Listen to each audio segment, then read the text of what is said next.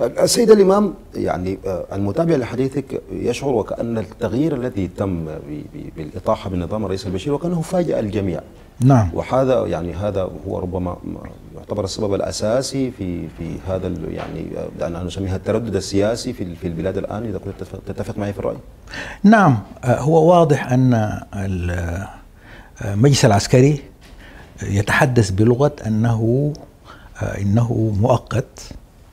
وينبغي أن يسلم السلطة المدنية إلى حكومة مدنية في الاتجاه إلى انتخابات عامة حرة ليؤول الأمر للشعب.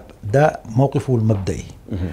آه، من جانبنا نحن في في المعارضة آه، كانت هناك آه، يعني مفاهيم جامعة لنا وهي الإطاحة بالنظام الاستبدادي وتسليم السلطة آه، في المرحلة الأولى لمرحلة انتقالية لحكومة مدنية ثم التحضير في النهاية لانتخابات عامة حرة.